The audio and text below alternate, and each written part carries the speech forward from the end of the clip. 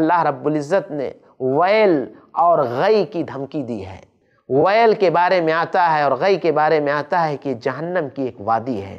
اللہ رب العزت فرماتا ہے فویل للمصلین الذین هم صلاتهم ساہون ویل ہے، ہلاکت ہے ان نمازیوں کے لیے جو نماز میں سستی برتتے ہیں۔ چاہے وہ ہو، یہ سوچتے ہیں کہ روزانہ بعد میں پڑھ لیں گے۔